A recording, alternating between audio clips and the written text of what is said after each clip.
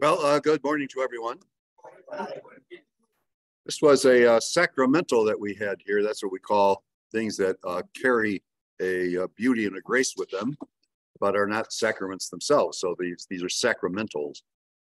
That means like holy water and ashes on Ash Wednesday. And uh, we haven't done this before, but uh, this year we did it. We had people bring in their palms from last year instead of just throwing them out and uh, we burnt them. And we have another one this afternoon. And uh, so we got a whole pile of them. And you saw the flames going by here, did you not? They were shooting way up in the air. Yeah. The um, in, in fact, they got they got a, a, balloon and it just blew up. But I can't read it though because it's just Chinese to me. I, I did tell people in there that uh, when you know you go to a football game, that they have an Air Force would fly over. You know, you've seen that, you know. Well, we had two geese fly over, you know, uh, out here. Of course, they wouldn't they wouldn't come down close to the fire. I, I can talk goose, by the way. Oh. So yeah, I can. And so uh, I heard them talking to each other. One of them says, "You know, we're out of season. Thanksgiving is not here yet." so, oh my! But now, uh, what we're going to do today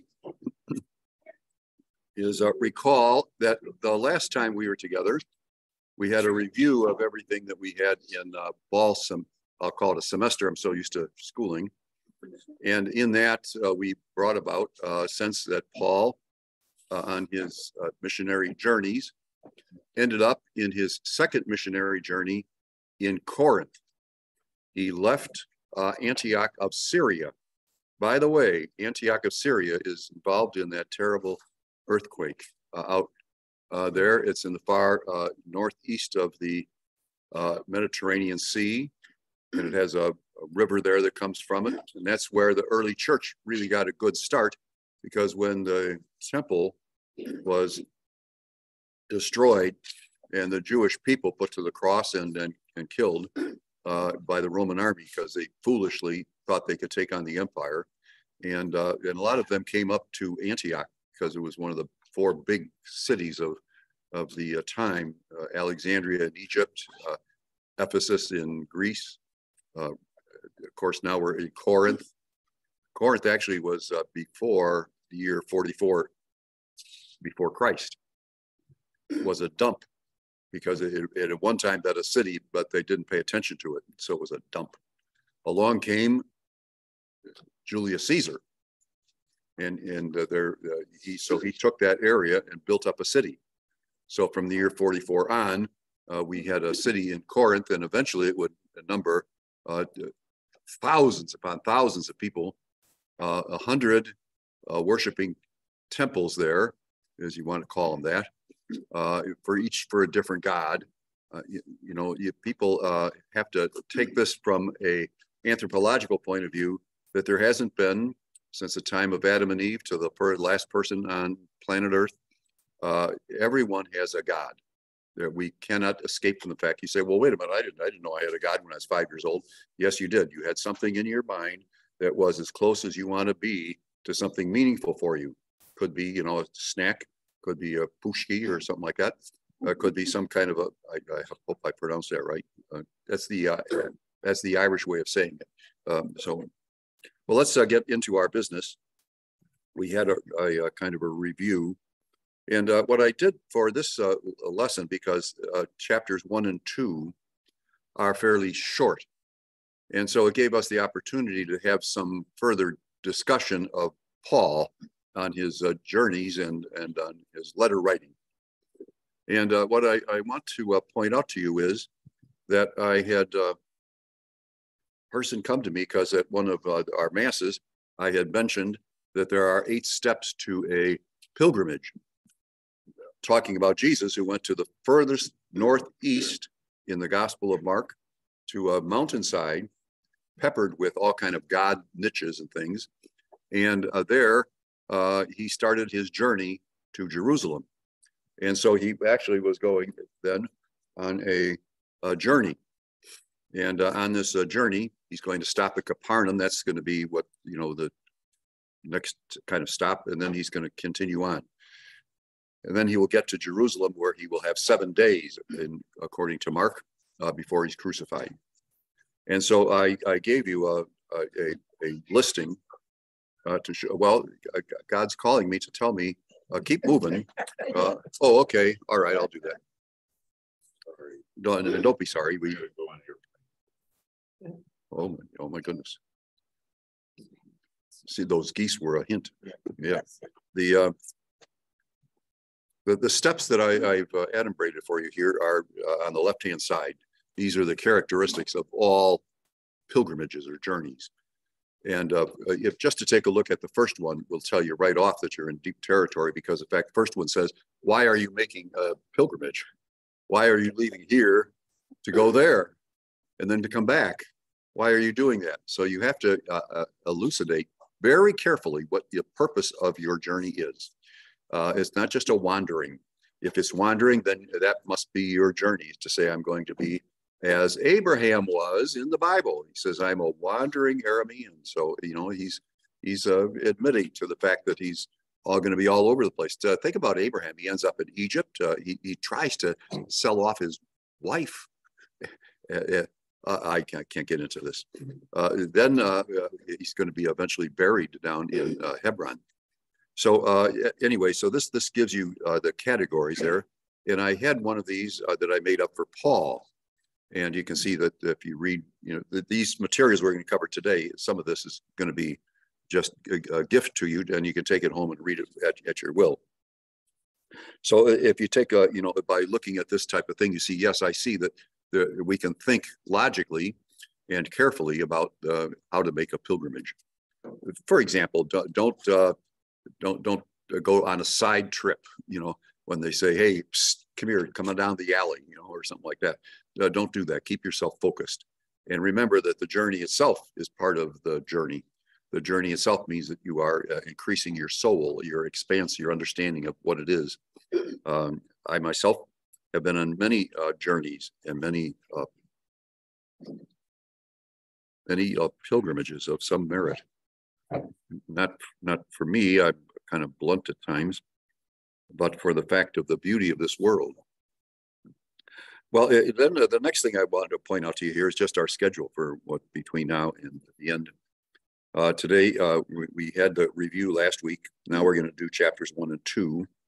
And uh, then when we get done with uh, chapters 11, 12, and 13, which is the last part, uh, page 10 and 11 still has to be um, monitored for us.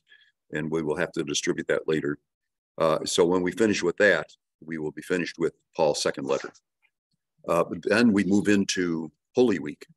And I thought to myself, you know, not to try to stretch things out into Holy Week, uh, so that we'd actually finish the letter. That's how I arranged it this way, so that we would finish before Holy Week.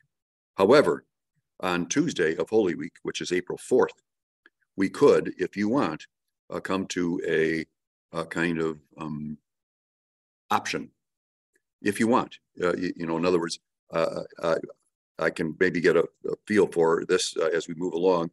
Here are some possibilities. We could take a, a just for that day, because it's during Holy Week, we could take a letter from Peter. Uh, that might be interesting to find out what he has to say. Uh, and uh, he talks a lot about the church. You are the temple of God. Uh, then uh, I'm, I'm going to skip the Johannine. Then the Hebrew passages are from the book of Hebrews, which is to the Jewish people who have become Christians they need to know they made the right choice. And so the letter to the Hebrews means I'm going to give you this letter that Jesus Christ is the king of the universe. And they're, they're going to understand that. It's a beautiful letter. It's the most beautiful piece of scripture is the book, the letter of Hebrews. Uh, or we could take some of the prophecies of old, you know, the ones from Amos and Isaiah, especially Jeremiah, Ezekiel, and the others. I like this idea of the Johannine hour of glory because it's chapters 13, 14, 15, 16, 17, and 18 in John's gospel with its highlights. We don't have to read everything, we can read its highlights. But that is what we uh, hear on Good Friday.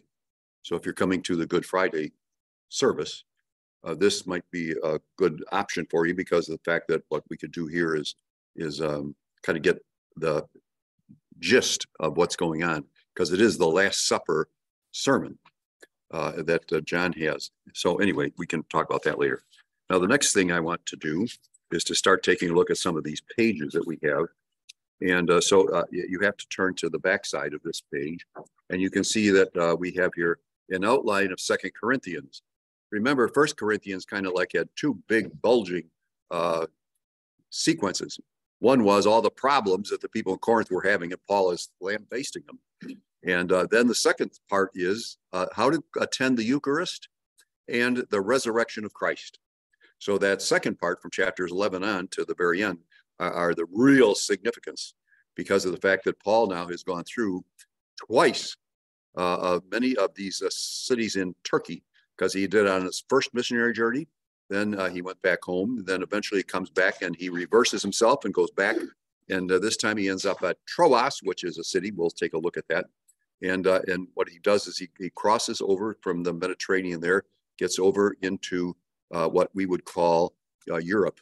So you have the uh, uh, other side is kind of like the, the side of the, of uh, Asia, uh, and uh, the other side is the side of Europe at, Istanbul. So then what we have is um, a, a, move that takes him to Philippi, to Thessalonica, to Berea, to Athens, and eventually to Corinth. Corinth fits into uh, his program fairly well because he is uh, by trade. He's not going to sponge off people. Uh, what do you mean by sponge off people? Well, I, well, I could tell you because that's what I do. Uh, so um, what you do, you kind of use people to maybe make your life more comfortable. And uh, so he doesn't do that. He, he, he works uh, and uh, does the, the work of a person working with leather. And he meets some Christians who got thrown out of Rome, uh, uh, Aquila and Priscilla. She, we, his, her friends call her Prisca, so we'll do that. And she's a lovely lady. And so he, he kind of ties in with them and they, they with him. So they follow him for the rest of his time. And they, they so that's what's happening. Then eventually what Paul does is he goes back to Ephesus and then he'll go back to uh, uh, Jerusalem. And then he'll do his third missionary journey, which is a disaster. So you can see here, uh, you don't have to, we don't have to read this, an outline of Second Corinthians. You can just see that there is uh, some headlines here. First of all, there's a greeting and uh, then Paul's relationship with them. And then Paul talks about his own ministry. And then uh, he uh, has a, a, crisis and um, uh, a, a resolution of the crisis and then the collection for Jerusalem. And that will take kind of the last two sections here, even though it says Paul's defense of his ministry. He's really looking for a, a, collection to go back to the Jews who are in real trouble back in Israel, because now this is letter is written in about the year 56. And uh, during that time, uh, the, the Jewish Christians have been taken on by the Jews because of the fact they think that these people now become heretics. And so they isolate them. And so they don't, if you're a widow or you're an older person or you need you help with, you usually go to the temple and they give you a couple of coins and then you can buy your food for that for the day. Remember the lady who throws in, in the gospel, throws her money into the big thing. Uh, you know, what interesting kind of, you say, well, was it a big barrel? The way they made the barrel was to take a giant fish standing up like this with a wide open jaw like this. So when you walk by to throw your money in, boom, you can hear it clinking all the way down.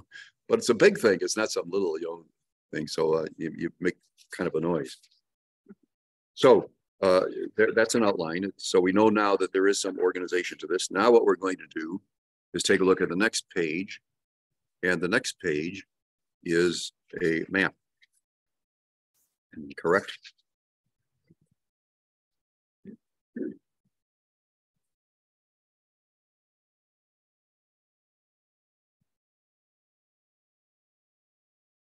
Paul's companions on the third journey. Well, this is a awkward. Here you can see what we're dealing with here is uh, these are some of the cities where Paul is at. This, let's start at Ephesus. This will be the, the uh, uh, and so you can see how the third journey, Ephesus, he comes there and he, he stays there for a long time. He spends about three years there in Ephesus. That's where he writes these letters from, is from Ephesus. And uh, he, he got taken in by uh, a uh, man of the synagogue, and then they bounce him out of there because they don't want him, uh, you know, moving in with them, uh, even though the man was generous. And he goes to a rich man's home. Now, if you go to uh, Ephesus at the city, you can find up in the front on the library, going all the way back to a hundred years or so after uh, the uh, time of Christ. Uh, sometime afterwards, they decide to build a great library, and on that library coming down, they have the names of all the rich people, you know, who uh, you know kicked in some money, and it's still there. Well, that's the house that Paul got into. He got into one of those rich man's homes, and by that I mean that their rooms, for some of the rooms, are uh, almost like this. It's almost like a small gym. You know, they're that big. How do I know that? Because I sat at the top of that hill and looked down. I was there in 1990, and all that was still under dirt. Now I am uh, at the top, and I'm looking down, and they had an aluminum set of stairs all the way up to the top. So it'd be like maybe uh, eight, 10 stories high minimum. And I had the opportunity for, and I can't explain the whole thing. I had the opportunity to sit down on the top of that hill and have an hour long conversation with the head uh, uh, person who was in charge of the archaeology excavation of the city of Ephesus over 40 years. So this is the gentleman who was in charge of the archaeological exposure of the city of Ephesus. And I had a chance to talk to him for an hour. You say, well, what was, what could you say to the man? I said, I can only say two things. The first thing was I had a question and I gave him the question and he talked for half an hour. And uh, then uh, uh, and they looked at me and I, I didn't want to applaud. That's kind of cheesy. Uh, and then I asked a second question and he talked for a half an hour. Okay. Now I was with my uh, colleagues from the uh, Institute of Biblical Archaeology, whatever you want to call it. We're biblical archaeologists. That's what we are. We're certified. And uh, they they had gone up into the hills because there was some scribble on a cave wall. And I said, well, yeah, you go there. I'm going to sit here. And this guy came along. He was an older man at that time. And I, I was a younger man at that time by by that time, which was some years ago. oh. So anyway, so let's let's start there. See see uh, from Ephesus. Eventually, Troas is where you cross over. You can see there's two sets of lines here. One is uh, on this third journey, and the other one's on the way back. And so, uh, what you do at Troas, uh, by the way, Troy is right up the road there. You know, you've all heard about the Helen of Troy, but this is Troas, and you you can take a ship across and when you take a ship across, you get off, you see where it says Philippi? Well, there's a landing place there, a little island called Neapolis and Philippi. And now on Paul's second missionary journey, that's where he met Lydia. And uh, so then he comes down here to Thessalonica. He has to leave there early. Don't follow the dotted line. That was, uh, and then go to Berea and then all the way down to Corinth. And says Paul spends three months in Achaia, which is Greece, and he probably wrote uh, Romans during this time. So that's just a kind of a, a, a sense. I thought if you had a little map, at least it would show you, you know, where these various places are. The main cities that we're going to talk about are Corinth and uh, uh, Ephesus. There is a town below that called uh, Miletus. That'll be important because uh, Paul on his missionary journey back does not want to stop in Ephesus. Why not? Because of the fact that uh, he people would cry, they would hold on to him, and so he wants. So he goes down to Miletus, but they follow him down there very moving passage in the Acts of the Apostles. They hug Paul, they, they hold on to him. They say, we don't leave us, don't leave us, but he does. Okay, he has to go to. So now, what we have on the next page, uh, or on the backside, whatever it is, uh, you can see Second Corinthians, and, and you can see, uh, and this is what uh, you can read during the week, just to review everything.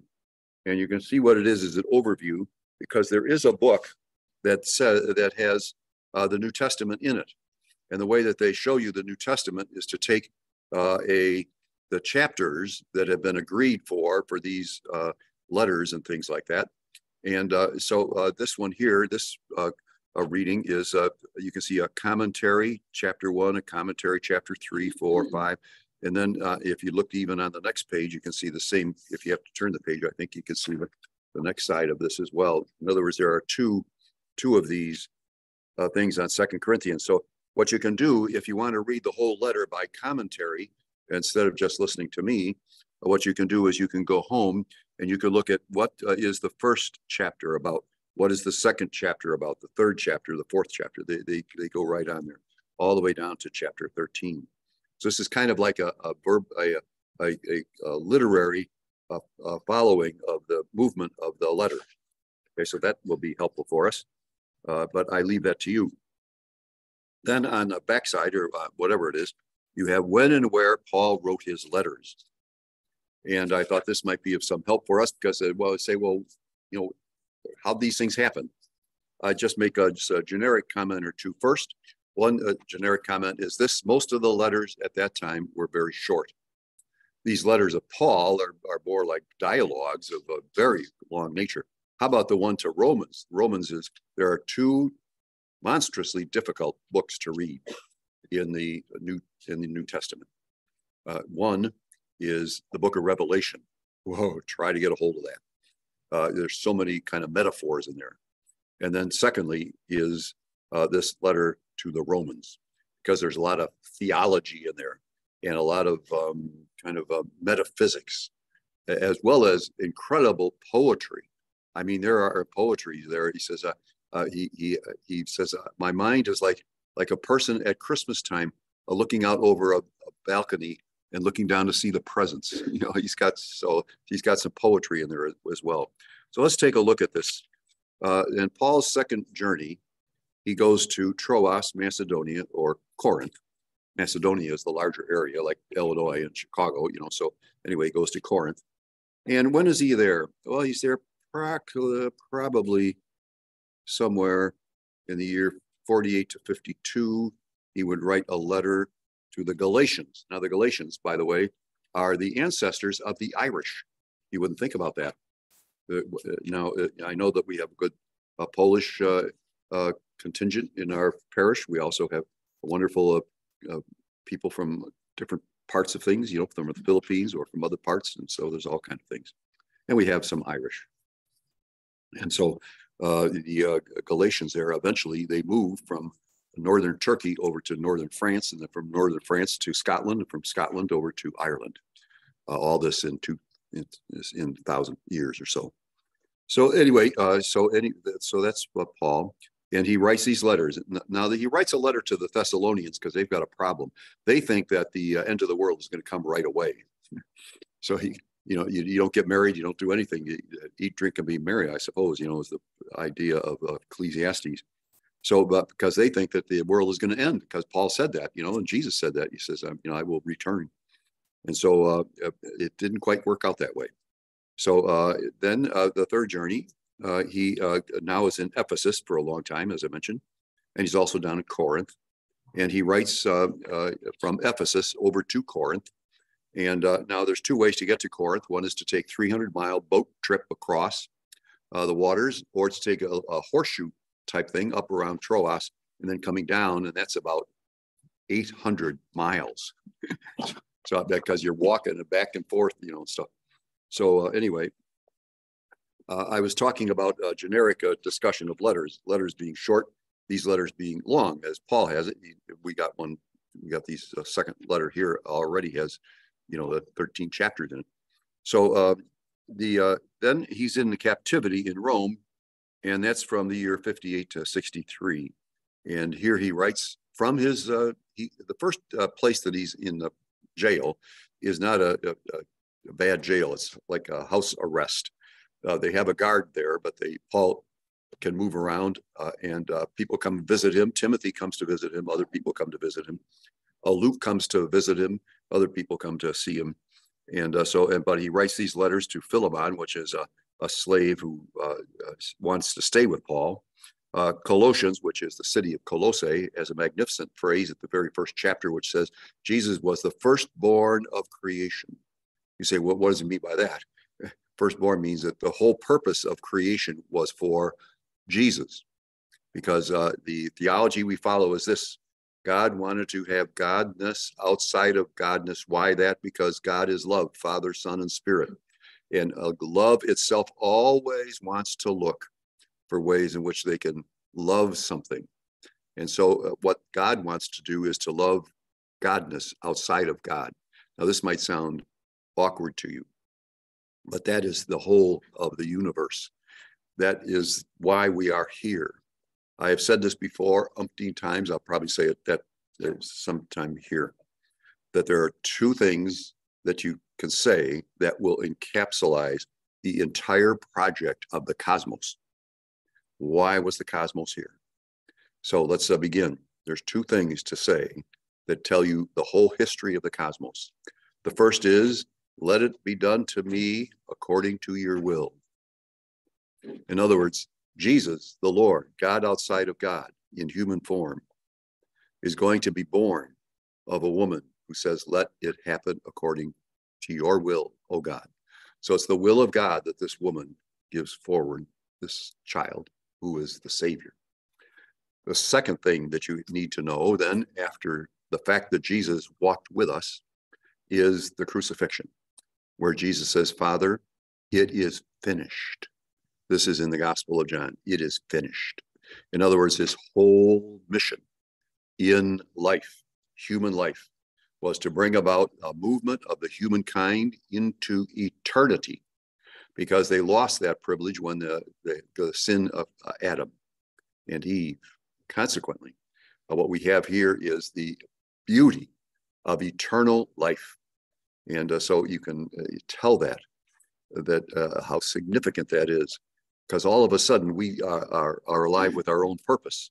Up to that time, many people, the Sadducees, for example, they wouldn't believe in any resurrection or any life after that death. Ecclesiastes, the same thing. What does Ecclesiastes say? Vanity of vanities, vanity of vanities. Everything is a vanity. Five times that word comes in the very first sentence that everything is a vanity, meaning it's useless. Why is it useless? Because you're going to die. And if you die, you're gone. That, that's all there is to it.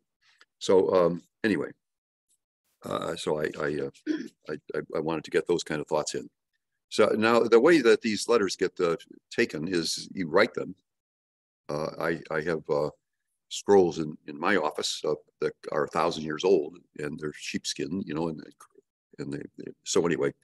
Uh, so, but in those days they wrote on papyrus, which is a, a, a reed that they would weave together, going cross cross and stuff like that, real tight. Then they would water it, and then they would roll it, and it would become kind of like a sheet.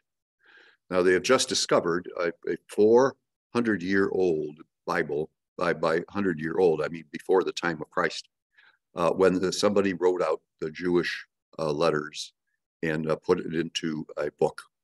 They've just discovered this. Somebody had it, uh, but now it's out in the public. Uh, can you imagine that? Uh, one of these up in um, Uh, up, up in uh, the uh, northern part of the University of St. John also has an, an abbey there and at the Abbey, they decided to get some money. They got $8 million. And over a period of some 10 years, they wrote out the Bible, the whole thing. And they wrote it out with the uh, letters and stuff like that that they had enjoyed. And you got great big huge books. I saw some of this being made before they put it into a book.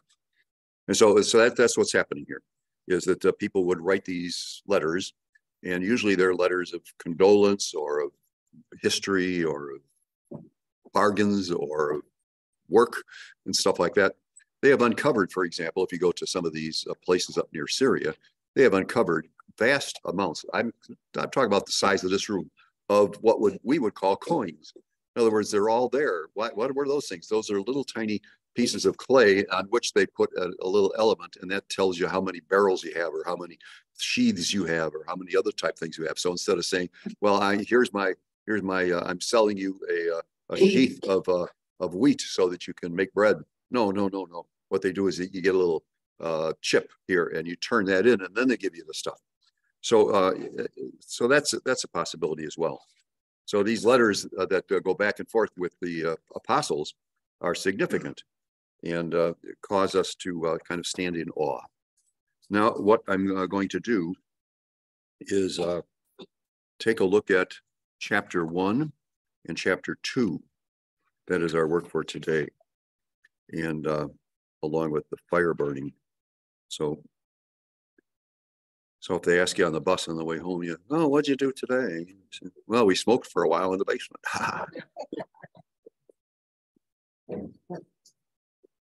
As you can see, uh, the way that um, my commentary comes to you is to put down some thoughts on significant phrases or words. For example, let's start with verse one. Paul, an apostle of Christ Jesus.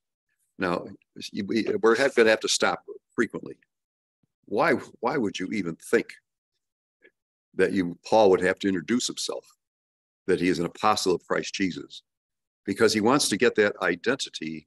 Uh, here's a little metaphor burnt into their minds. Yes, he wants to have them to know that this Paul is the very one that they heard about who was knocked over and given 180 degrees instead of persecuting uh, the people of God.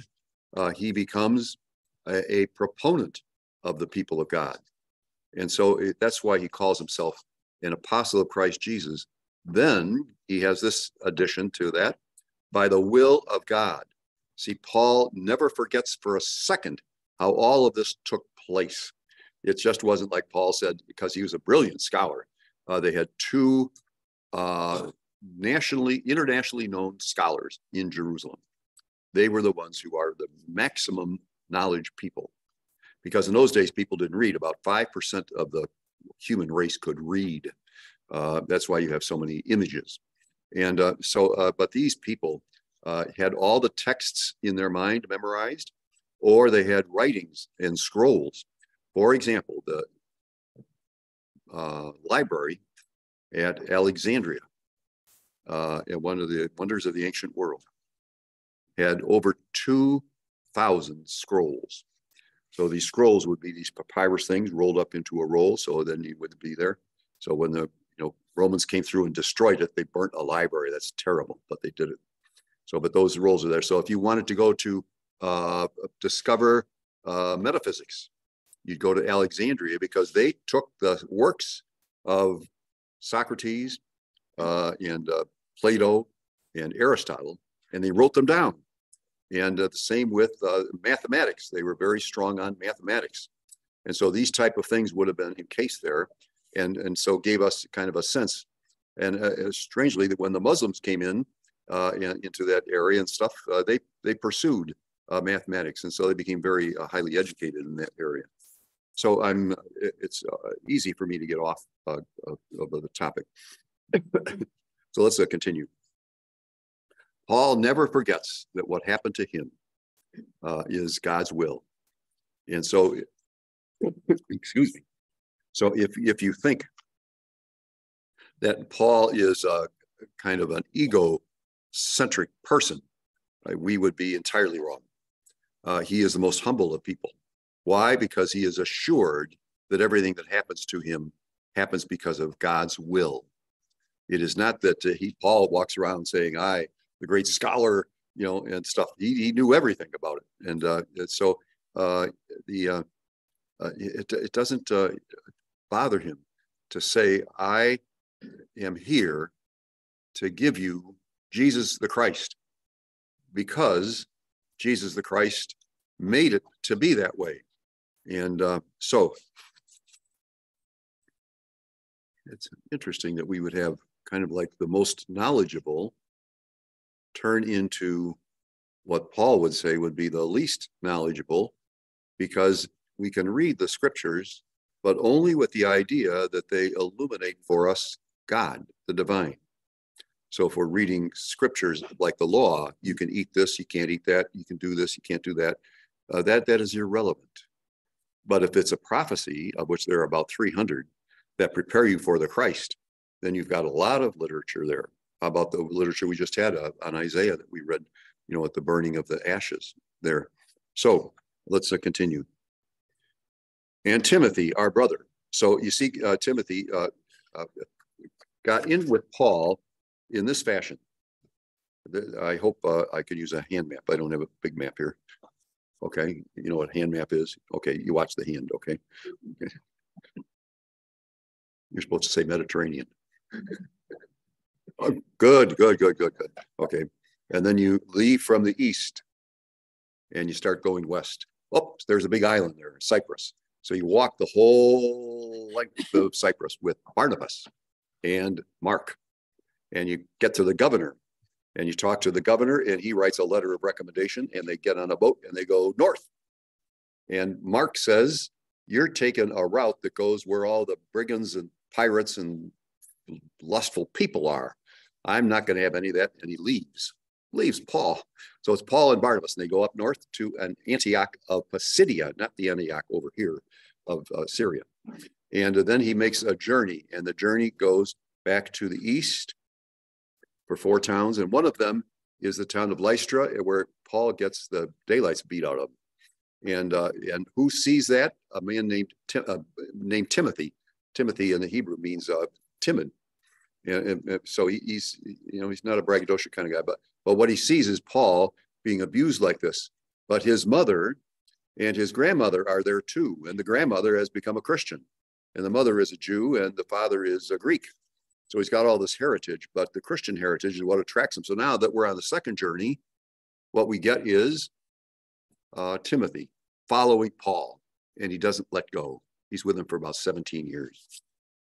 That's why Paul can say, uh, I, I am Paul, and Timothy, our brother, is with me, and, and we to the church of God that is in Corinth. Uh, you got to love these phrases because they, they are so uh, rich in meaning. He says, he doesn't say, yeah, here we are, and uh, there's a, you know, a pup tent uh, built up as a temple in, in Corinth. No, we are in the church of God, you know, not talking about any building, but talking about the spacious, uh, expansive soul that one after another people are kind of uh, rationing themselves uh, to uh, become a, a, not just a Jew, but a Jew who was belonged to Christ, or a, especially in Corinth, a Gentile. And uh, it, uh, it is a wicked town, as I've already indicated slightly. I don't want to get too much into that. Uh, but it, yeah, it's a it's a terrible town. They, they there was a word uh, we talked about this in the last uh, in the fall. The word about uh, going to Corinth. It's Corinthiadzine, which is like going to lose your senses in uh, lust and playing cards or spears or other type things. And so it's it's all useless because you go to you know you, you pay off the god that you want in the their their small little temples. Uh, so Blessed be the God. He says, uh, Grace to you. Oh, excuse me. The God is in Corinth with all the holy ones throughout Achaia. See, that's a collection in mind. See, the holy ones. Uh, he's talking not about their actions as much as it is that they have pe- people that have converted in their mind and their soul that God is, and that it is the God that has been prophesied to us, been Jesus the Christ. So he says, Grace to you and peace from God our Father and the Lord Jesus Christ. So you see how uh, careful Paul is here. He's telling a particular area uh, has been named already, uh, this Achaia, which is upper part of uh, Macedonia. Then uh, let's continue. Now, so that's the greeting. Now we're going to go to Thanksgiving. And you can see it goes from verse 3 down to verse 11. And it's the Thanksgiving. Uh, you can be sure that Paul would do say something like this. Why? Because he's only Paul uh, the, the apostle because of the fact that God made him that way. Uh, you say, well, did he force it on him? No, uh, because God doesn't do that. But what he does is he invites. Well, when you're laying on your back and you lost your sights and you can't get anything to eat, you might think it over. Mm, yeah, maybe uh, there's something here. So, blessed be God, the Father of our Lord Jesus Christ, the Father of compassion and God of all encouragement. See, he's already identified to the Corinthians what they have uh, uh, experienced. So that, they already have experienced compassion. How is that? Well, remember in Corinth that they had a, somebody who goofed off and got thrown out. Well, this God is going to show compassion to him. Now that we get the second letter, see, and of all encouragement, you know what? What is the center part of encouragement? Courage. They are put to death on a regular basis here and there. Uh, there is in Nigeria today uh, 24 hours, and every hour there will be a Catholic Christian who dies uh, because of the uh, punishment that the, the oppressors are, are giving to them in this area. In Nigeria, it used to be one of the greatest of the African countries, but uh, they've been taken over. And uh, of course, we uh, we know already of all the other tensions in the world. So, Father of compassion, all encouragement, who encourages us in our every affliction. See, and what he's thinking about here is the way that they treated him in Ephesus, because in Ephesus, they finally got mad at Paul. Why would that be? Ephesus had one of the great wonders of the ancient world. There's seven of them. And uh, it is the Temple of Diana. And it was a magnificent building. There, uh, you say, is there any part of it left? Yes, there is. There is. There's part of it left. Okay. it's the size of a garbage can over here. and that's it. That's all that's left. Whereas they had these magnificent pillars going way up into the sky and stuff like that before. And uh, oh my God, uh, excuse me, oh my, uh, oh my, oh my. there, there is Diana up there. Uh, and, uh, and so she pulls the moon across the sky.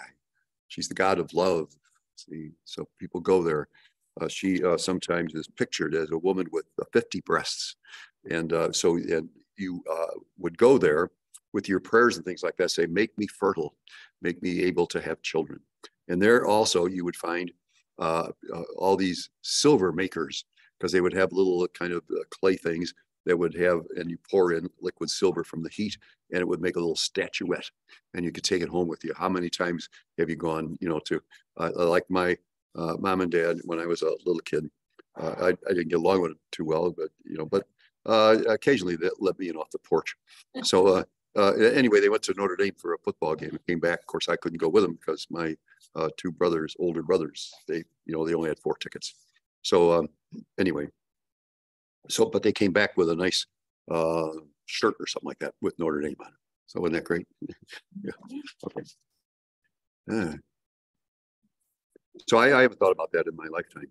So uh, the uh, what we what we get here though is something this uh, treatment see is our every affliction. Paul comes in and says to the people of Ephesus, those images are fake gods they have nothing to do with anything else. They're fake. They even bring him down to the giant uh, amphitheater. And some people say that they have the amphitheater is uh, uh, a, a, place of uh, death and things like that. They say it's like vomit. Well, it's only vomit because the people, when they're leaving, uh, you know, uh, get sick.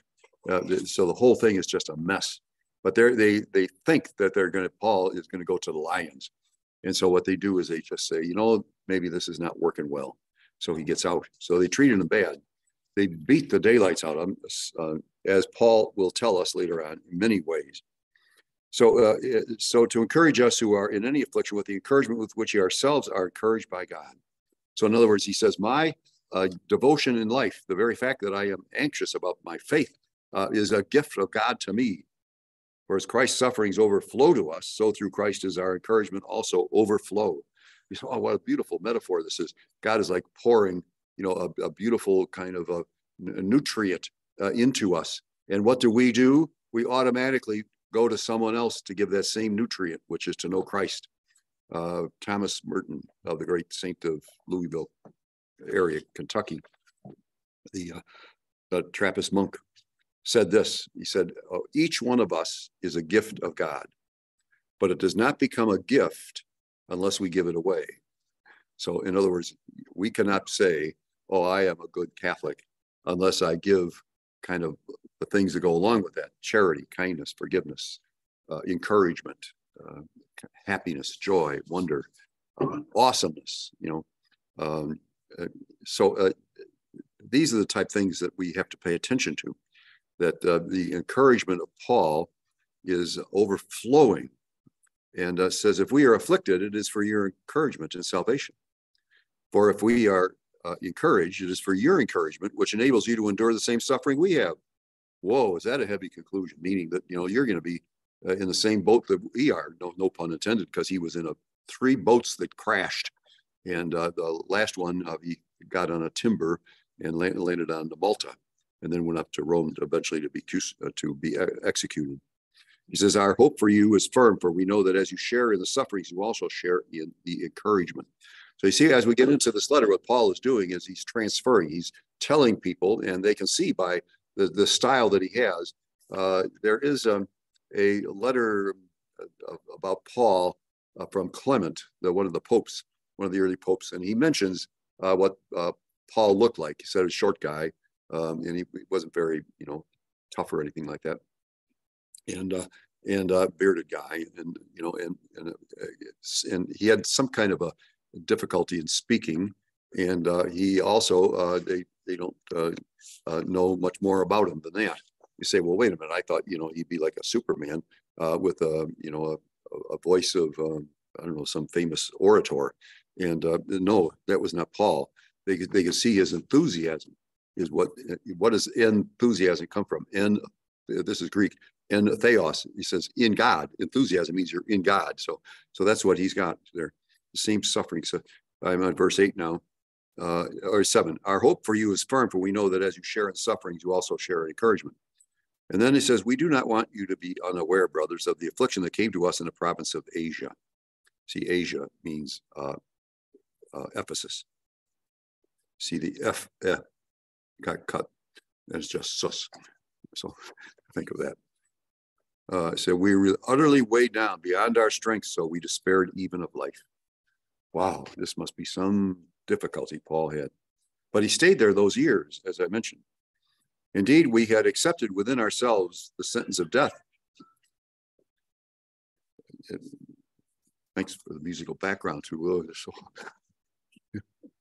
uh, it, it, covers over the reality of of death. I, I, I have to think about this. Imagine every night that uh, as you're tired as can be, you may have walked 12 to 20 miles in those days, to walk 20 miles was not a problem. Everybody did it. And uh, so you're tired and you're just going to collapse. And all of a sudden it comes to you, I'm never going to wake up again. Why? Because uh, I, all the things I did today emptied myself of my life, and now they're going to come and put me to death. And so the, you have that anxiety and that fear. Every single place you go, you know that there is going to be a visible and thorough uh, beating and uh, harshness and rejection. And you're going to go on no matter what. So we're dealing here with uh, incredible uh, weight of soul. It says, verse 9 Indeed, we had accepted within ourselves a sentence of death that we might trust not in ourselves, but in God who raises the dead. See, I put in there this Paul, steady drumbeat of resurrection. He cannot talk about these things unless He's talking about the resurrection. He rescued us from such a great danger of death. He will continue to rescue us. In him we have put our hope that he will also rescue us again. See, because I put down there, Paul could have had an early martyrdom. He could have been, he could have been martyred before he left uh, Damascus, where, where he had to stay for some time to catch his breath, to get his eyes back, to get instruction about Jesus, the Lord. And he had to change his whole mindset. And you can be sure that what they say to him is, Paul, have you read uh, these uh, things from Isaiah? Or what about Jeremiah? Or what about Ezekiel? Or what about Hosea? Or how about Amos?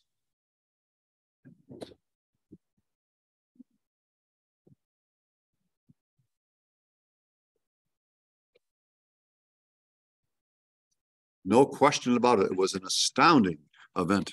So thank you. Uh, the uh, yeah the uh, the, uh, the, the anxiety, I suppose, the dreadful anxiety follows you all the time. So you know you might talk about the physical impairments that he gets. That that's nothing compared to the soul impairments that are put upon him. That he has to be the one to do this. Uh, so when he was in Damascus, like I say, he had to find out about Christ, and he had to find out about Christ from the people that were there. They were they themselves had become Christian, and so and then uh, there is a period that we don't know of the, where he went out into the desert, spent some considerable time there. Why? Because he has to commune with the Lord. So uh, now let's continue. Uh, verse 10. He rescued us from danger of death. He'll rescue us again as you help us with prayer. So thanks be given by many on behalf of the gift granted us through the prayers of many. So uh, here uh, is his thanksgiving.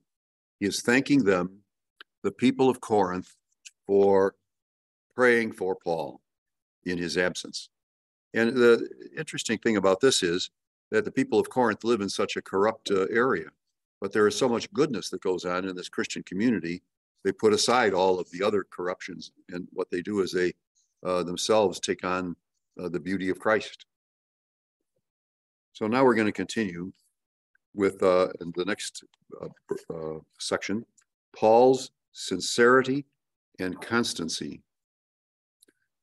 For our boast is this. See, this word boast comes up an awful lot in his letter. And so you're saying to yourself, well, if he's boasting, then he's an egotic, egotist. And uh, that's just far from it. What he is saying is, uh, I am so privileged to be the one that God will speak through me uh, to others. God will heal to others through me. It is not for Paul to establish a community and then stay with it. It is for Paul to bring about a community of faith and then to leave it to go to another place. So he is an evangelist, uh, is his task. But in doing so, what he's going to do is leave behind in each one of the cities or uh, areas, he's going to leave behind elders. That's the word that they would use. Uh, they understand elders, we would understand later in that century to be bishops. And those were the ones that would come in and to celebrate Eucharist with you, the breaking of the bread. And then they would also be the ones to ordain. And by the ordination, and this is in Clement's letter, uh, he said they would place their hands on you, just like they did for King David. You know, they placed their hands on you. And that that's what the, uh, so if you see, uh, you know, a, a, deacon or a priest or whatever be ordained, that's why we have uh, sacraments like confirmation, where we have a, kind of a visual type thing of, uh, you know, of touching and and uh, calling you by a new name and things like that is because there's been a change in who you are. Well, this is what Paul is. He's a new person. And so he says the crisis between Paul and the Corinthians. Now, this is the tail end of chapter one. So, uh, what we're going to get here is his final statement before we move on to the next uh, letter, part of the letter. For our boast is this. See, he, he, he's not um, boasting as a way to polish himself, but to show that he is himself a, a the residue of God's encounter with humanity. The testimony of our conscience that we have conducted ourselves in the world, and especially toward you, with the simplicity and sincerity of God, and not by human wisdom, but by the grace of God. See, what Paul uh, continuously does is he goes after the smartness of this world. You say, well, that means he's anti scientific, anti philosophical, anti linguistic, or whatever. No, that's not what Paul's talking about. He's talking about if you think that that is the whole of your being, you've missed the point. Now, two weeks ago in our bulletin, there was a letter from, or I should say, Kathy's Corner, and talked in that uh, in a lengthy uh, little essay. You should take a look at these things in our bulletins on Sundays. And her bulletin there was that Jesus uh, was, uh, uh, you know, see, see people say you are, you know, uh, half uh, uh, of what you is your totality. What Jesus is saying is that he does not want to have people go about bragging about the fact that they were healed by Jesus. Remember, several times over, especially in the Synoptic Gospels, he says, Do not be telling anybody about this. The only one he allows to be telling people is the one he who's the the, the man who's all kind of wrapped up in hostility in down in the area of the uh, Decapolis. Decapolis means 10 cities, and they're all Greeks. That doesn't mean when we say pagans, we don't mean that in a negative sense. We just mean that as a clarifying statement that they are pagans. They are not religious people, and they're possessed by the devil uh, down there. The one guy is anyway, and and, and he gets cured, and the and the the uh, demons all go into the pigs who go into into the, uh, Galilee, Lake Galilee. So uh, the the result of that is that this man wants to stay with Jesus, and Jesus says, "No, I want you to go back and tell people what happened here, because that's the only messenger they will have about any of this." Because Jesus is not going there into the interior of the Decapolis, but he doesn't want it to have in Capernaum or in uh, some of the other areas of uh, Galilee that Jesus' miracles are there, uh, such as in Jerusalem and stuff. He does not want people running around saying, oh, look at what Jesus did, look at what Jesus did, although they do it, but he doesn't want that. Why? Because that is not the whole truth of who Jesus is. See, if you say that Jesus is the healer, Jesus is the prophet, uh, Jesus is the one who gives encouragement or comfort, is that who Jesus is? And you'd have to say, no. Jesus is the Savior, the one who will go through death to bring us to life. That is who Jesus is. You see, is that making sense? You know, the fact that Jesus doesn't want to quote unquote boast, doesn't want to have, you know, people get to know, you know, this takes place. But it happens in Mark's gospel on the very first night, the very first night, because he, what did he do? Well, he, he, he was in the synagogue. He walks across the street, which is not even as wide as this. And, uh, know, what's about like this. And he goes over to that house over there where Peter's mother-in-law is, and she's very ill. So he goes in. What does he do? He takes her by the hand, see, and uh, listen to this word, raises her up, and she begins to serve. Now, some people, uh, because they don't look at this, think, oh, well, you know, that's a typical uh, gender mentality. They do the cooking, we do the heavy stuff. Baloney. Oh, yes. well, okay.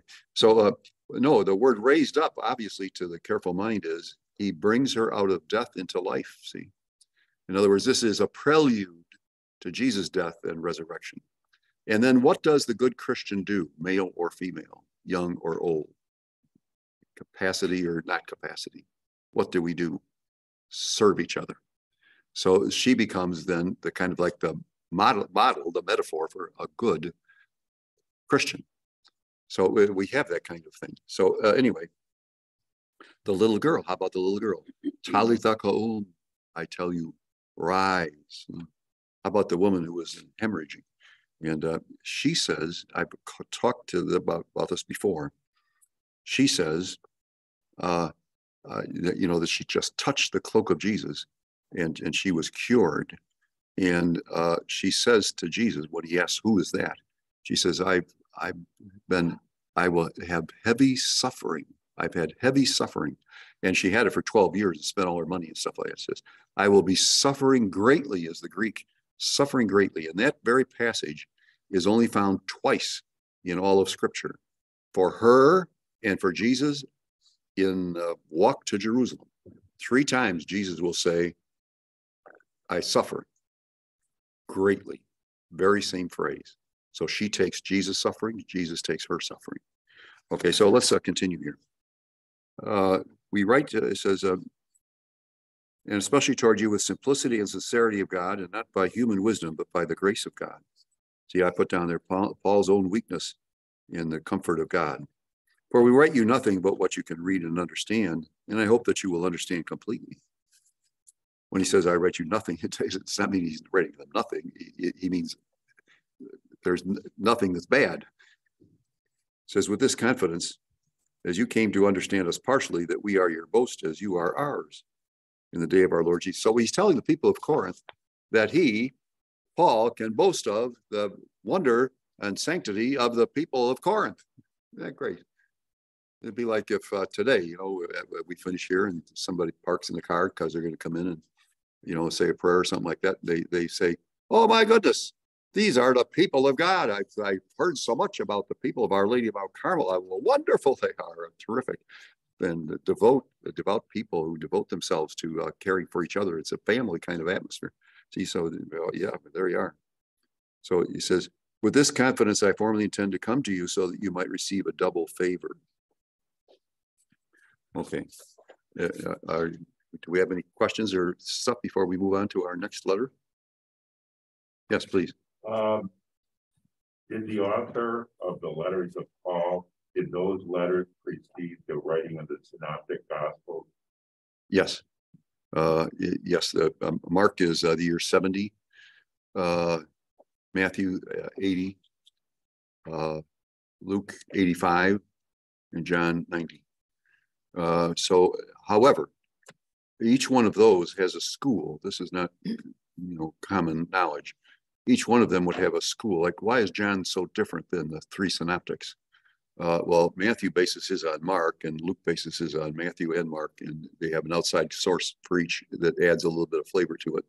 But in John's gospel, you get a whole brand new thing. You know, there's no infancy narrative. Why should there be? He's he's the son of God.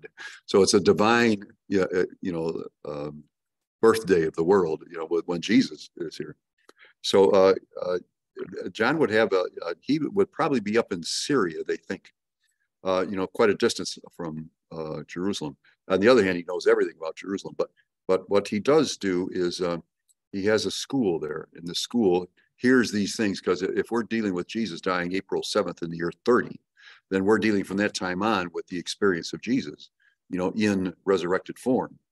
And so uh, in these these collections of people that are doing this, you know, they're they're remembering. People have great memories in those days. I, I could prove it to you, but I I just want to move on. Uh, but they they that's why your question is so uh, important for us because the fact that we find out that what Paul is doing is he is the scriptures now, uh, his letters and stuff like that. Peter has some letters and some others have letters. Most of those are letters using the names of the apostles, but they are written in the 80s or 90s uh, because they talk a lot about you know, ministry and other type stuff. They're not they're not talking about some of these things as, as much as Paul. Does that help? Do, do we have time here? I, I, 48. it's. I'm sorry, I still can't. 1048. It's 1048, and we can go to. I'm going to talk very slow.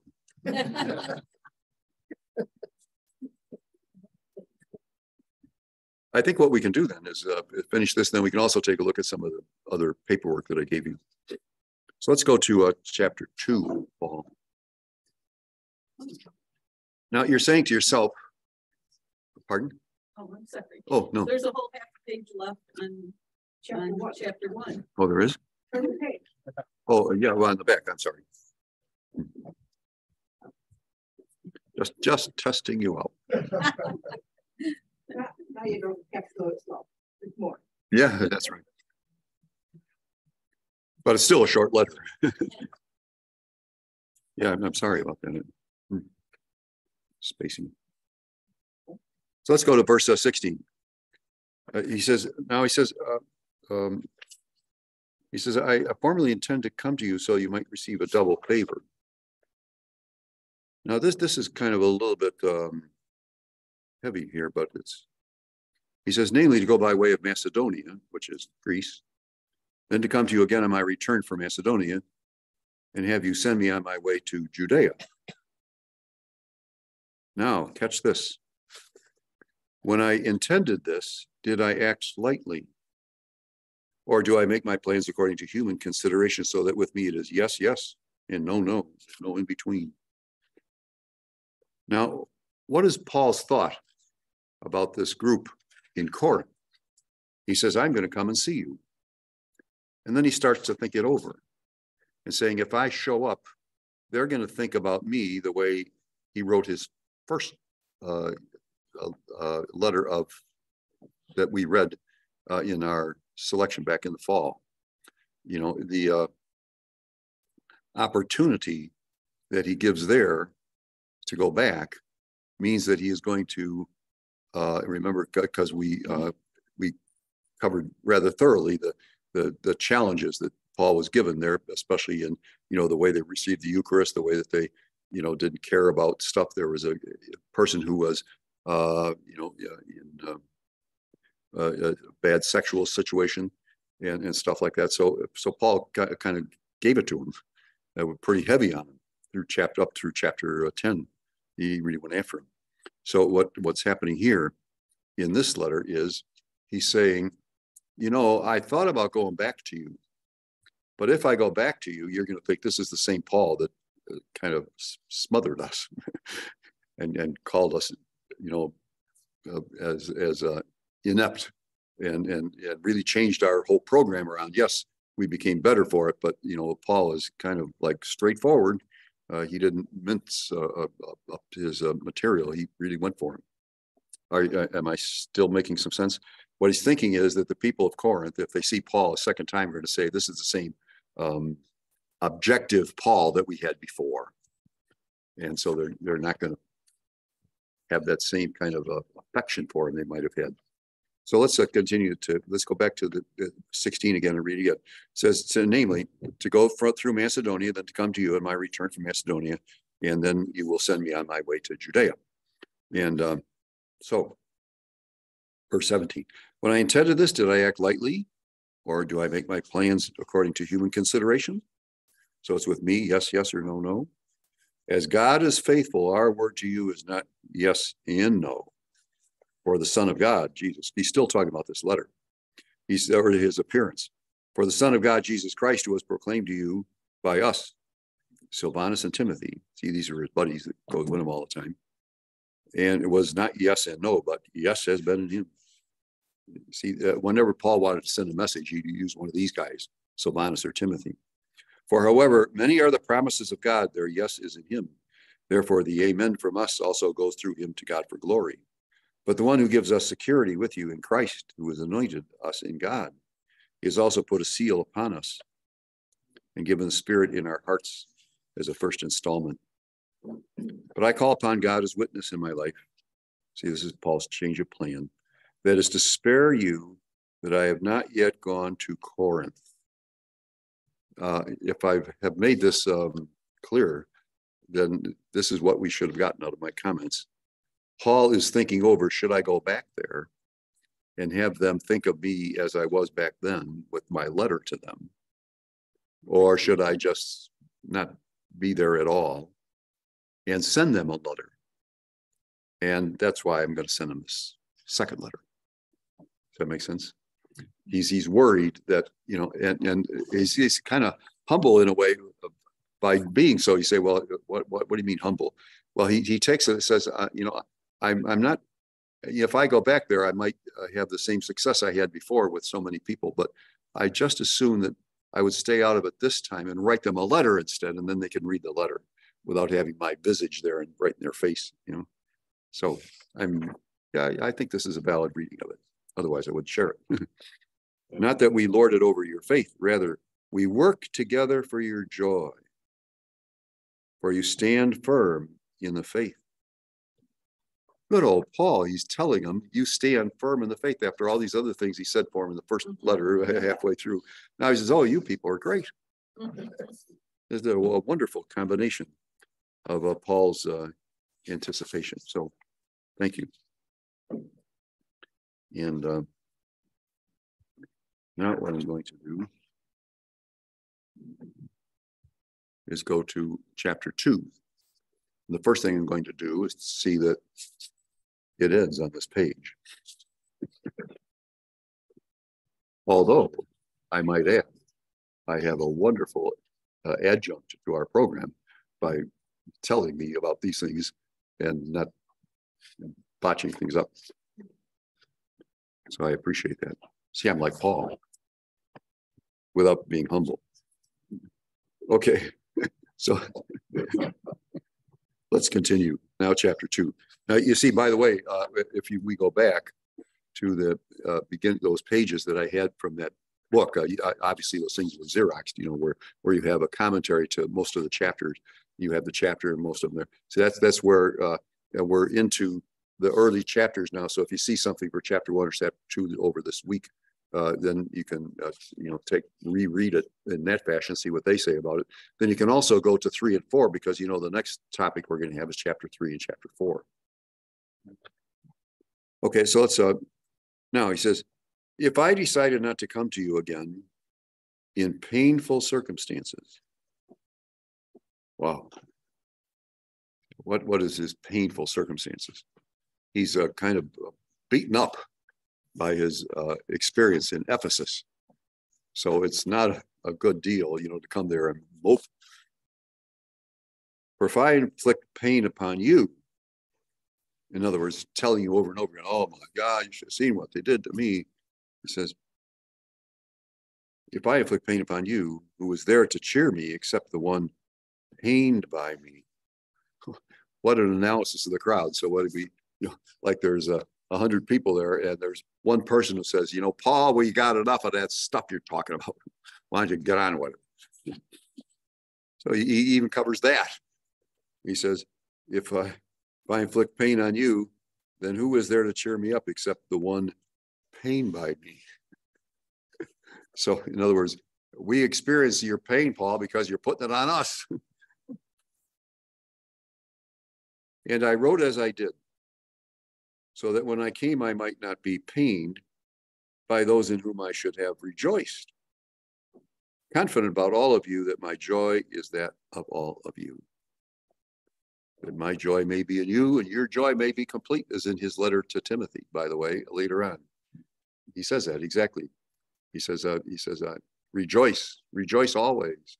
This is Paul waiting for his death. I'm talking about another letter, by the way. This is the letter to Timothy. He says, uh, he says that what I want you to do is to have joy in yourself, have all the joy you can. And but but he's in writing this from a pit in the bottom of the Mamertine prison. It's a hole in the ground with a grate on the top, and they, they treat him like dirt, and uh, they're going to kill him, uh, execute him. And uh, by the, by the way, they have in this last century, starting in 1930 all the way through up till now, they have discovered the uh, remains uh, of uh, both Paul and Peter through our, our advancement of archaeology and stuff. Yes. You say, tell us more about that. Oh, no, no, I'm just going to let you hang for a while. But uh, so anyway, he says, uh, he says, confident about all of you that my joy is that of all of you. Ah, you got to love this phrase here because he's saying the joy in my life came from being with you, people of Corinth. For out of much affliction and anguish of heart, I wrote to you with many tears. That's his first letter. That, that's why I liked the idea of reviewing some of the first letter last we did last week. Not that you might be pained, but that you might know the abundant love I have for you. This is Paul's deepest heart that we get experience of uh, in uh, his letters. Because uh, in his letters, he says wonderful things and things like that. But this letter, especially, gets us into the heart and the soul of Paul he, he, when he's talking about tears and he's talking about love and talking about affection, this is wonderful. Okay, let's continue. If anyone, uh, uh, this is the offender, says, and, and who do you think the offender is? yes, you're right. the one who offended the law of uh, marriage. Remember that? If anyone has caused pain, he has caused it not to me, but in some measure, not to exaggerate, to all of you. This punishment by the majority is enough for such a person. Oh, he's going backwards now to that incestuous person. Remember in the first letter, a man can, and there were various ways in which we can understand incest, but whatever it was, he did it. And Paul is telling him in that first letter, throw the guy out. So now what's he saying? He says the punishment by the majority, in other words, that they've they've turned their back on him, is enough. He says, so that on the contrary, you should forgive and encourage him instead, or else that person may be overwhelmed by excessive pain. Ah, unbelievable. What he's saying is go get that guy. He's probably down some saloon uh, having his third or fourth gallon of wine uh, because of the fact that you guys threw him out and he is nothing now because he's lost his community, his people. And he says, whatever I did, I did uh, and it was wrong, period. Uh, isn't there any compassion for me? And apparently there was none at Paul's request. Do you, do you follow me that this is a this is really a 180 degree turn? He says, on the contrary, you should forgive and encourage him so that he doesn't get overwhelmed by excessive pain. Therefore, I urge you to reaffirm your love for him. Now that that's why we have the sacrament of confession right now. Uh, for this is where this is why I wrote to know your proven character, whether you were obedient in everything. See, so that's why he's saying, I'm not coming to you, I'm writing a letter to you instead. Whomever you forgive anything, so do I. For indeed, what I have forgiven, if I have forgiven anything, has been for you in the presence of Christ.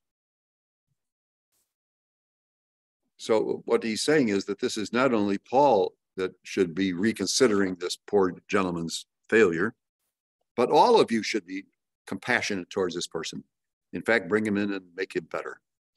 Uh, we might have experienced something like that in our lives, uh, coming across people who uh, really uh, were broken, and then all of a sudden, because of the fact of their courage, uh, came back.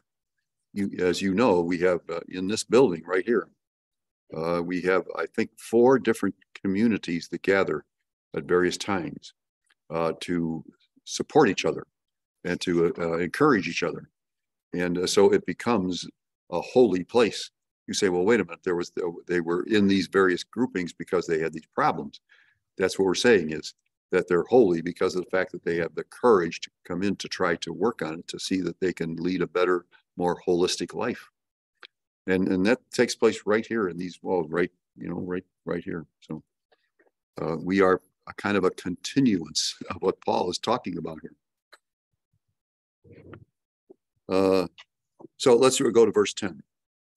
Whomever you forgive anything, so do I, for indeed what I have forgiven, if I have forgiven anything, has been for you in the presence of Christ. See, so what he's saying is, and this is where our theology of confession is, the priest doesn't forgive someone's sins, does he?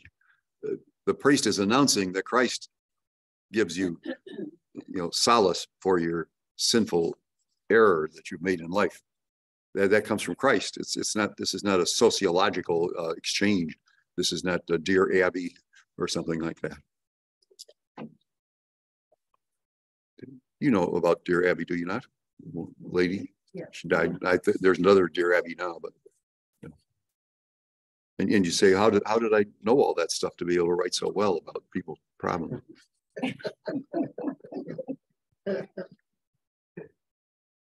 So, so here's, here's how the Catholic Church works.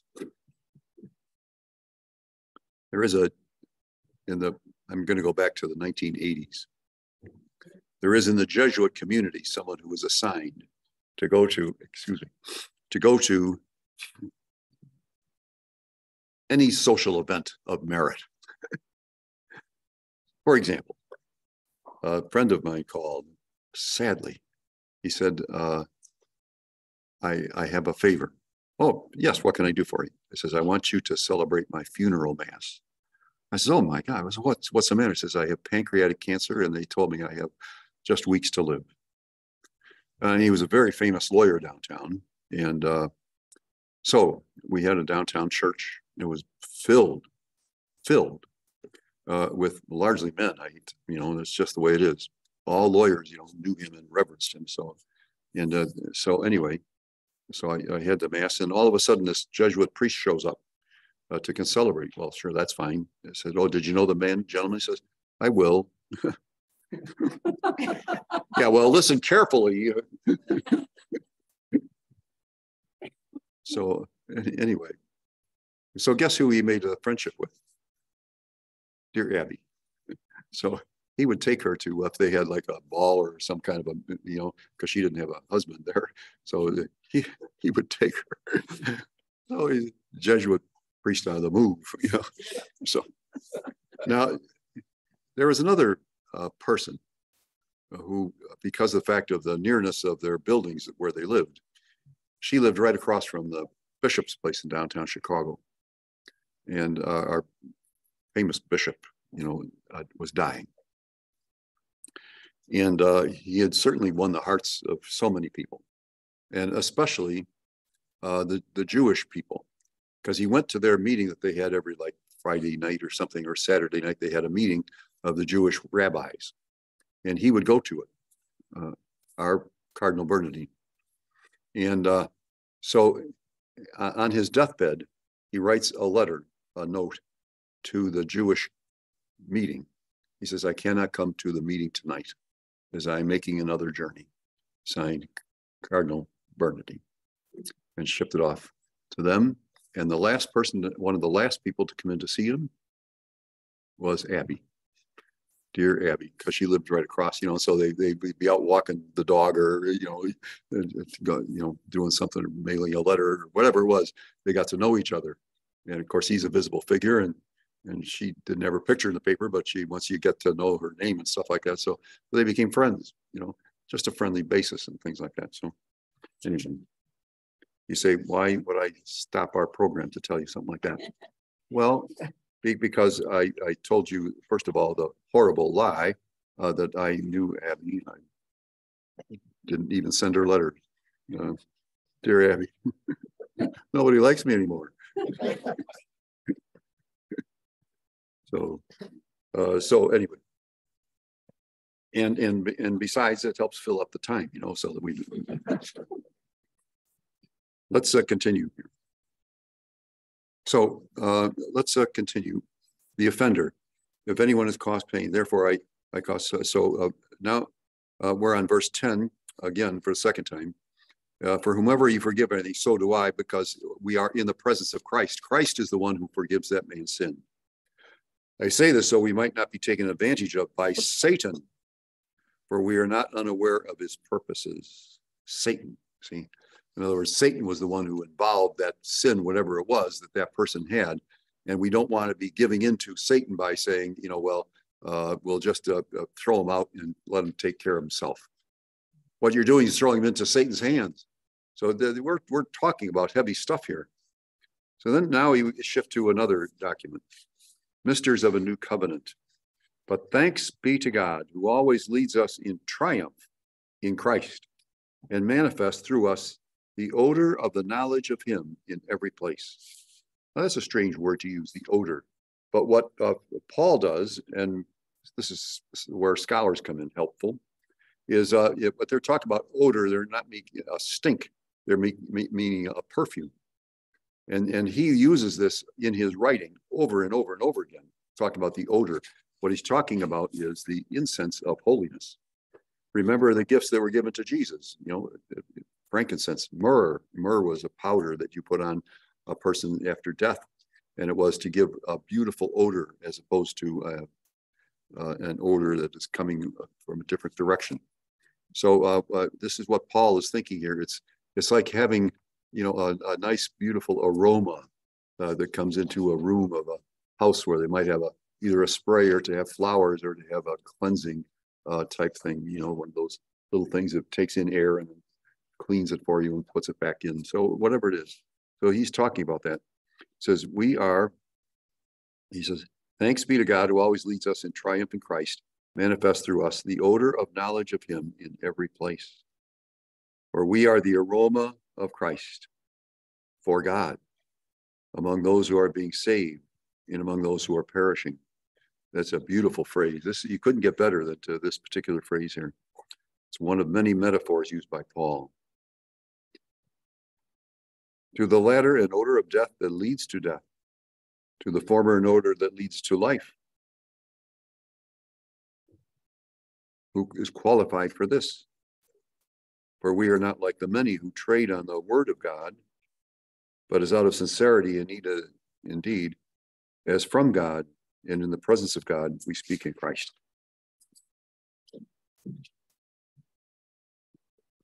Now, uh, dear ones, um, as I've uh, explained before, I, I do put in sometimes supplementary information that is really not part of our Pauline work directly.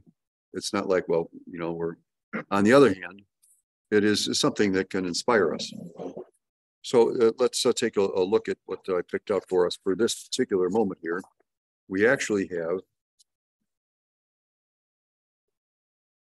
uh, some saints and uh, from our own Carmelite family. Let me uh, yeah, my pages are stuck here.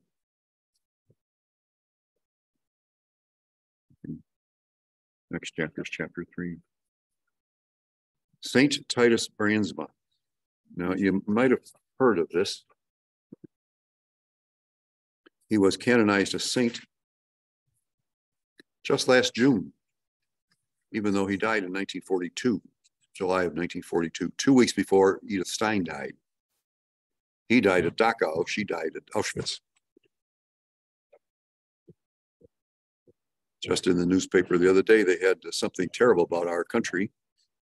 They turned away uh, Jews who were coming from, escaping from Germany in the Second World War. They got turned away. And in the last group that got turned away, by the way, was a little girl who wrote a book about it, Anne Frank. And the book later was published some 10, 15, 20 years later, they found it. And uh, she was in the last group to be told, no, go back. And you know what happens when they go back they get incinerated. So she died. She died of a, a, a disease that she picked up in the prison camp. So they counted up and said 190,000 were returned Now, and not only that, but hundred and forty some thousand of the seats that already had been promised to them were empty. So in other words, it was deliberate that Roosevelt and others. And I, I mentioned names because how else do you say it? Well, the president at the time. In, in fact, one of his cabinet was a Jewish person and they just didn't, had no feeling for this, said, we don't want to have a flood of this coming in. And, uh, Weren't some of the people, um, on a ship that they wouldn't let land? Exactly. several, um, that's exactly, what- including the Caribbean. and Yeah, other they, yes, they went down to, from there, they went down to Cuba to other places, yeah. Yeah, so anyway. yeah. Now Titus Brandsma is uh involved in all of things, not because he was a Jew, but because he was a very, very learned president of Nijmegen University in a Carmelite, very kind of frail. And uh, six hundred articles that he had written were destroyed in the fire. Otherwise, we'd have a wall of things, you know, he's so learned. And uh, a very profound person. And he was captured because of the fact the Nazis were against him immediately because they knew that this is one guy who was not going to let the newspapers of uh, Holland, you know, be friendly to them. He had been going around by the cardinal, told him, go around to every newspaper and tell, especially Catholic newspaper, tell them we're not going to be friendly to the Nazis. So they knew that. And as a result, uh, he is imprisoned for six months, and then he is taken down to Dachau. Now, I go to Dachau every year uh, for two reasons. Uh, One reason is I go because Carmelites were killed there. And so I, I get off the plane, I get my little car. I go to the northeast side of Munich, outside of town, to a little crossover called Moosinning. I think they probably have a hundred fifty people there, I suppose. I don't know. But one of them is a big inn, and I stay with the inn there. It's a family-run place, and I, they love me and I love them. Then I take my little car and I, I zoom over to Dachau. And I go into Dachau and I go to the place, like this would be a model of Dachau. See, these would be barracks here coming all the way down, barracks here. So this would be, uh, this would be, uh, two, four, no, this side would be two, four, six, eight, all the way up down to thirty-two, thirty, okay? These two would be for priests. You say, oh, well, that's pretty good. You know, they get nice bump and all that. No, that was so they give them extra punishment because they hated priests. Because if they put them into other prison camps, they'd be going around talking about all this hope stuff, you know, and all this prayer stuff and and uh, put up with, you know, so practically all the priests that they got, oh, uh, over twenty-seven hundred priests were knocked out at this particular place, 2,700. So uh, the, uh, so I, and I go to the place because here, here we are, right up, right, all the way to the back there is where the infirmary was. But the infirmary was a pre-crematorium because in fact, what it was is you walked in there or you were carried in there, but you never walked out. So the, the nurse who came along uh, to give him the injection because that's what they were going to do. Uh, he, as, uh, as she's just giving him the injection, he reaches in, he gives her his rosary, which is carved out of like wood pieces and stuff. So gives her his rosary. Uh, after the war, back in the nineteen eighties, he is beatified. And when he was beatified, this woman showed up because she became a Catholic as a result of his mm, enthusiasm of life, I guess. I, I don't know how you, you put it. They, they, just to show you, at uh, Dachau, they did not, they didn't have gas things there. Uh, they shot Russians, others, they starved to death. So they, they cut the bottom of his uh, skin off of his feet. So that he's walking on the inside of his foot. So when he walked out to places, stuff like that, he was in incredible, incredible pain. Beautiful story is there's a little girl there and there's a parish in the city Dachau. And uh, so she uh, arranges with the priest that is there, a German priest at a German parish, to take communion.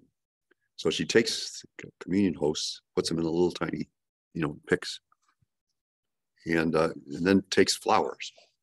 And so she gets onto the property because she says, "I come uh, every day to bring flowers to the commandant or something like that, just as a gesture. You know, oh, that's wonderful, wonderful." And then as she bikes around and stuff like that, she throws out the picks. And so anyway, later on, the priests are out there, you know, digging or shoveling or whatever, and they come back and they pick it up. And sure enough, they take the host and they take the tiniest piece they can and they pass it around. So they've all received communion. You know, wonderful story. At the beginning, the German priests were imprisoned there, and the German priests had more, they could say mass, whereas the other priests couldn't. So anyway, so this is, you can see the title here. It says, uh, for faith and a free press. And academic and more, uh, the Dutch Catholic Press. And so this, this this is quite a.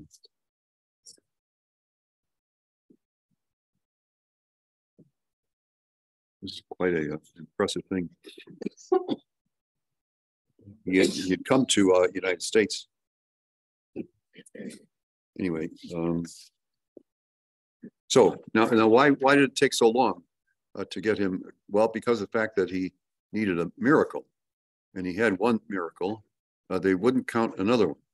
Uh, and, and actually, uh, they were right in this. Uh, the, uh, administrative assistant that I had when I was principal at Mount Carmel uh, developed a cancer in her jaw. And so they're gonna operate on the jaw to remove the cancer to put a false plate or something. And uh, it, obvious as can be. So anyway, I went to her house on Sunday and I brought a relic of Titus Brandsma with me. And I placed it on her face as we prayed together about half an hour just to talk back and forth. And uh, so the next day she goes in and they find out she has uh, something they hadn't de- determined before, a heart problem. So they had to do some heart operations or some part of it that needed to be repaired. So they did. So six weeks later, then they decide to go back and find out, you know, what they're going to do about the jaw. Well, they go in and they can't find anything. It wasn't like they, there was a scar or there was a twist or anything. It wasn't. There's nothing there. It's like it was brand new. And they, they were astounded. And, and so the, uh, now the family, myself and others, did not call this a miracle because we not looking for that. We were looking for healing. And that's what she she experienced healing. So that was acceptable to everybody. They just, you know, no matter what. So two years or so after that, the prior general of the Carmelites comes and he comes to Mundelein. By that time, I'm the principal up at Mundelein. And uh, he comes to the- our rectory there, our monastery. He says, is, I've heard a rumor that there was some kind of a healing here.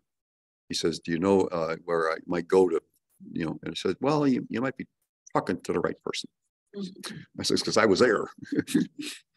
So uh, anyway, they go down, so they have a tribunal. So they bring in the people from Rome, you know, the experts and stuff. And they sit them up there. And I was, I was displeased with the way they handled it. Anyway, I was the last one that they talked to. You would think uh, they, you know, if they talked to me first, maybe, but maybe they were building up to, who knows? But anyway, so I got there and, and so I, I told just what I've told you. And uh, so on the way out the door, the chief guy from Rome pulls me aside and says, this is going nowhere. He says, because we do not uh, allow any recognition for things that take place in be, when there's been a medical treatment. In other words, because of the fact that she had this heart thing, uh, to deal with the heart, she had medicine and all this other stuff. And then stuff over here. Well, you don't get rid of cancer of the jaw by giving you a heart machine. yeah. So, but they wouldn't accept it. So now the story continues and these, the Carmelites are uh, great uh, people for getting sick. So this, uh, this fellow got sick, like two years ago, got sick, very sick. Uh, he was actually sick for about eight years with cancer and it just kept growing and growing and growing. So he was going nowhere. Uh, and, uh, so all of a sudden he goes into his usual doctor visit. The doctor checks everything out and says, well, you don't have to come in anymore. He says, why is that? He, he said, uh, I don't know who you've been praying to. He said, but, but there, there, there, you don't, you don't have cancer. There is no cancer.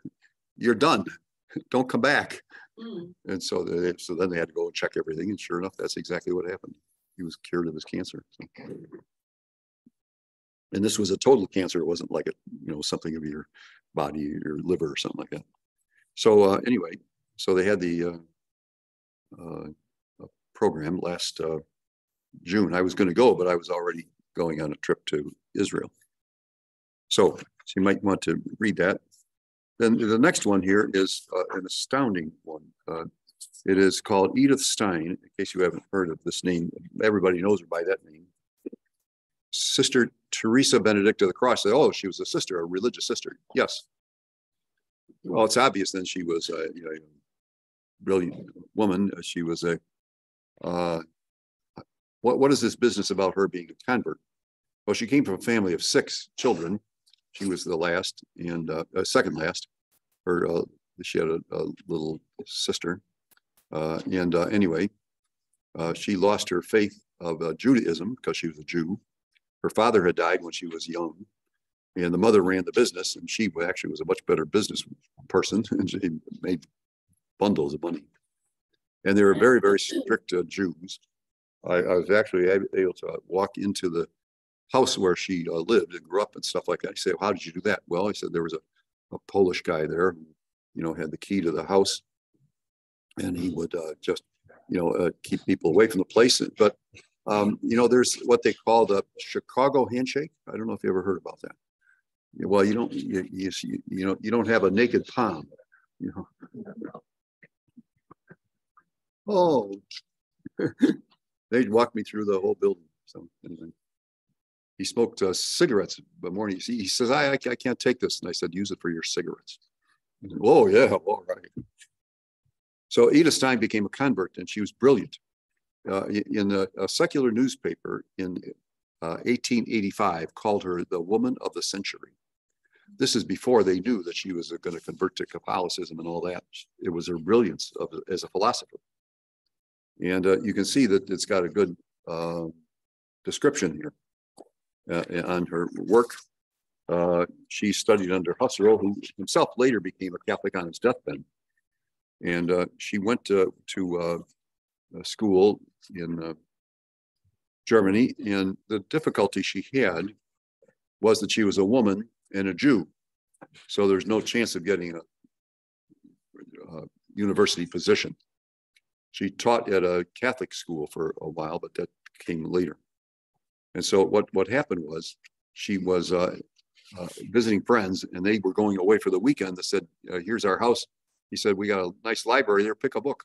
So she went there. Now, is this the Holy Spirit or not? She picks a book and says, uh, this is odd. It says uh, Teresa of Avila. Carmelite sister says, I don't know anything about them. So she read the book and she read it all the way through the night. Didn't go to bed, read the whole book because it was the autobiography, uh, the book of her life. Read the book into the night. When finished, said, This is the truth. So the next day, she bought a Catholic catechism and a missal. As a phenomenologist, Stein was convinced of the truth of St. Teresa's experience.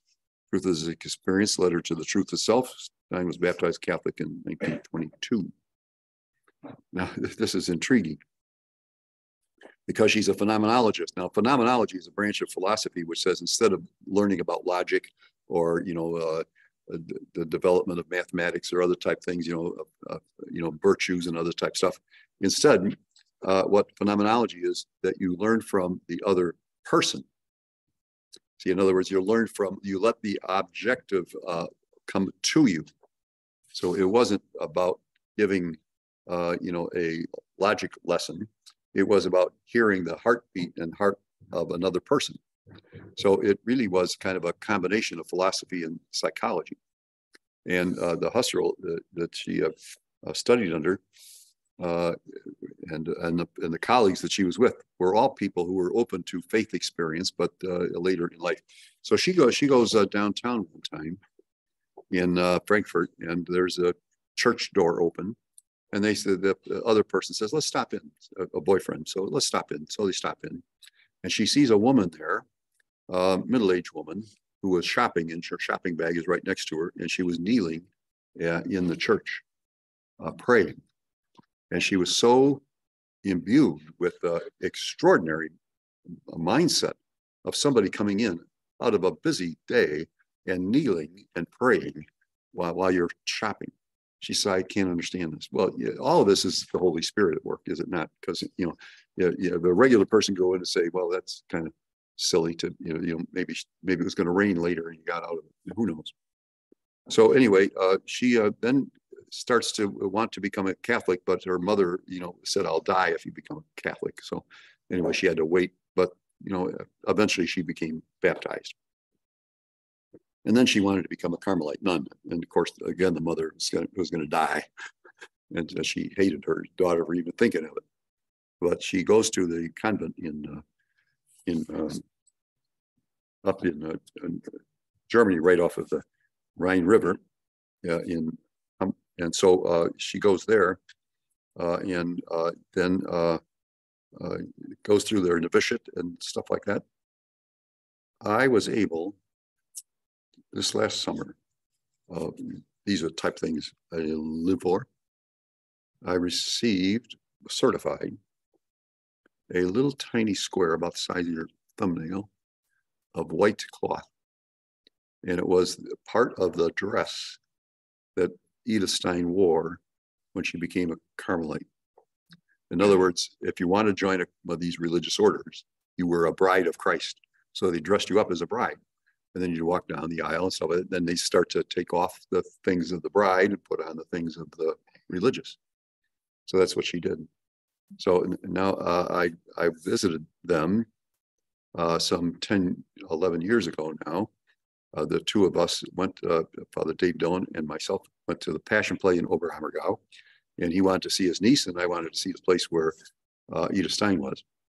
So uh, we go forth and go up at, and we get a little bit lost. So, uh, you know, when I come to the place where she was, um, I, I, I went up there and there was a nun who was locking the door. I said, I we're too late, you know, for the, uh, evening vespers. They allow people to come in. She said, yes, I'm sorry. I said, but, uh, I said, but you do have an eight o'clock mass tomorrow morning. Oh, yes, yes, yes, yes. And now I got another priest here with me. Can he come in? Yes. Oh, yes, yes. She's uh, eyeballing me up and down and stuff like that. And then she goes in, her name is Sister Mary Magdalene. And so anyway, we come in in the morning and we're in the back and, uh, standing there and she's waving us to come into the sacristy. So and we go in, she's got our albs laid out for us, you know, our thing. So we uh, celebrated the mass. So they ask uh, him, uh, Father Dave says, uh, the, the priest, he's a, a discount priest. So he said, uh, would you read the gospel? He looks at me like, what?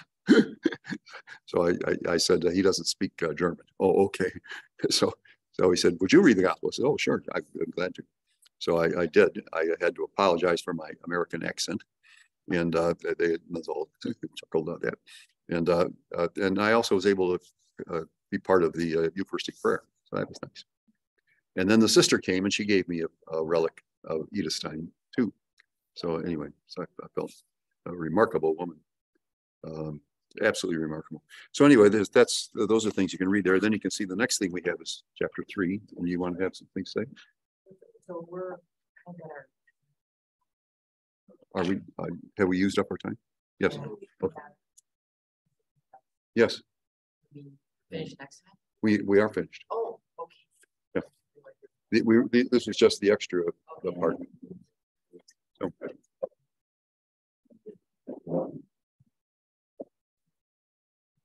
Hmm? I, I'm, I'm sorry. Stop the recording. Oh, oh, oh, Okay, thank you all for listening. We're stopping the recording for now. We'll see you next week.